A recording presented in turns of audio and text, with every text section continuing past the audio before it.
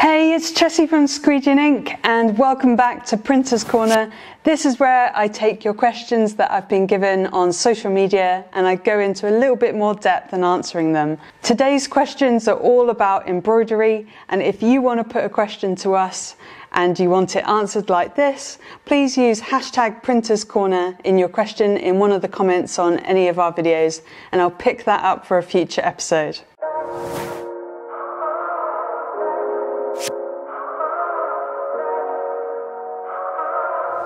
Let's jump straight into our first question. It's from Silk Screens, and they said, Is that a magnetic hoop? If so, how do you like it? It was a magnetic hoop, it's one of these ones, and they're referring to how we're hooping all of our different garments. So, in this particular video that we were showing, we were doing a big fluffy hoodie on Instagram and sometimes it's tricky to do different garment types. So these have been a real godsend to us because we didn't come into it very experienced in embroidery, but embroidery is a really good complementary service to screen printing to offer to clients. So we just got the easiest things to work with because we found the hoops that you get traditionally, you have to force them in with your hands and it's quite difficult. It's a bit of a skill to get the embroidery level on like a left chest piece of writing or something. So we just went ahead, invested in the Mighty Hoops quite quickly. We also went ahead and got the jigs, which are called the Hoop Masters, and that's where you actually dress a hoodie and then you can attach the hoop and put it in exactly the same place on a whole edition of hoodies that you're print that you're embroidering. So these are really really cool you have you have to apply hardly any pressure at all for when you're actually embroidering and hooping garments. And I'm going to just show you how strong they are. That would be underneath the bottom of the garment. Then you'd have some backing, and then it just clamps on there really, really quickly, and it hasn't got a chance to move or skew or anything like that. And it can hold really heavy garments when it's on the embroidery machine. That means that you're not getting garments like pop out halfway through an embroidery and you've ruined it. I would massively suggest, and I don't really know how people do without magnetic hoops. They're a really great investment, and we actually went ahead and got like a few more as soon as we could. So, yes, they are.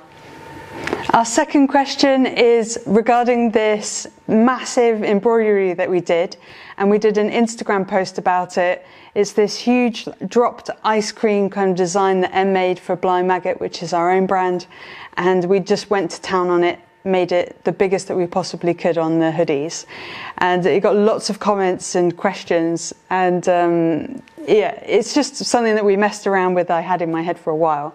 And the question was from at apparel underscore studio and they asked wow must have been a few hundred thousand stitches. How long is that taking? I actually looked it up and on the little spec sheets that we get and it was 85,827 stitches, which is just enormous.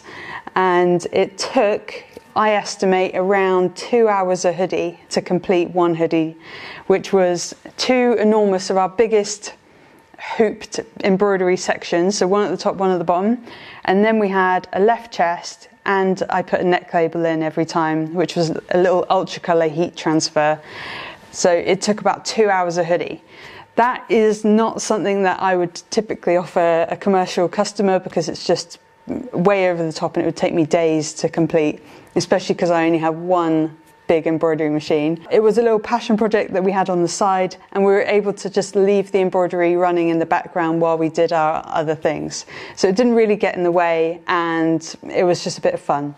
They also sold really well, which is why I haven't got one here with me, but I've got some videos to show you as well about like how it actually came out in real life. And the only way to see one now is to come to Newbury because that's where they mainly live because we sold them on our market store. I would definitely just say just have a little play, experiment in your own time, see how long these enormous designs can take and see what you can offer your customers from what you learn just messing around.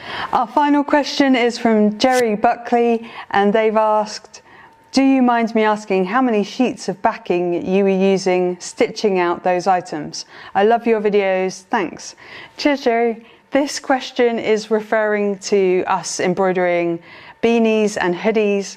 on a YouTube video and it was about conventional hoops or mighty hoops for embroidery. I think it's quite a good YouTube video. It gives a general overview of the embroidery process that we typically do in our studio. We go for one of two types of backing. The main backing that we go for, and we have the biggest supply for, and I get through the most, is tearaway. We've gone through a few different weights and qualities of tearaway, and we found that this one, which is 75 grams, is heavy enough to just use two sheets of, so that you are not having to use four sheets of the lighter, crappier quality backing. And I think that actually is a better economy over the long run because we're using less sheets, even though each sheet is more expensive. I think in the long run, it's, it's actually worked out really well for us.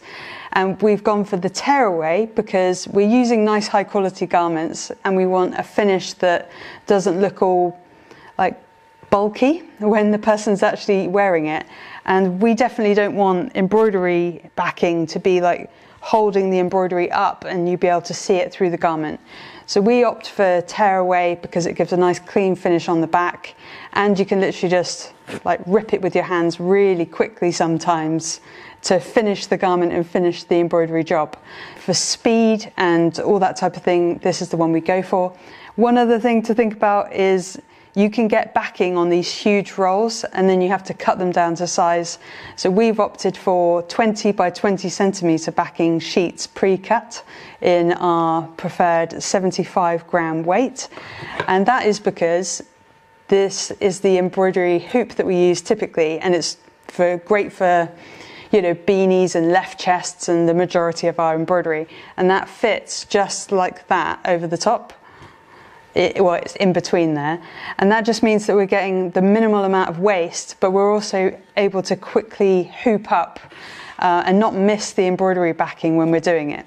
So I would say 75 gram, 20 by 20 centimeter, nice high quality backing on a really good organic cotton garment and you're going to get the best embroidery possible for that.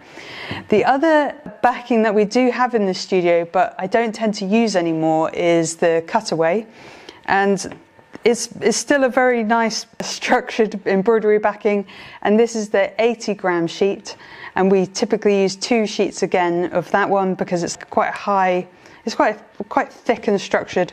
It's going to hold the garment in place well for embroidery, but we just don't tend to go for it. The reason we don't go for it is because when you're finishing the garment, and by that I mean removing the excess backing, you actually have to use a pair of scissors to cut away. And I have gone through uh, like a, t-shirt once, and I just ripped a hole right through the t-shirt with the with the scissors. So if I'm trying to avoid making errors myself, I'd go for the tearaway uh, instead of the cutaway. Let me know in the comments though if you go for cutaway, if you don't use those those hoops, or if you if you think we could improve our embroidery in any way. Let me know in the comments because uh, I'd really like to know if people opt for this instead. To round up this week's Printers Corner, the main question was how many sheets of backing do you use for embroidery? And I always start with two sheets of either and go up or down as needed. If you if you find that you don't need that many, just uh, take one out or add one in. If you want any of your questions answered, don't forget to use hashtag Printers Corner in your questions on social media and check in next week for our fresh episode.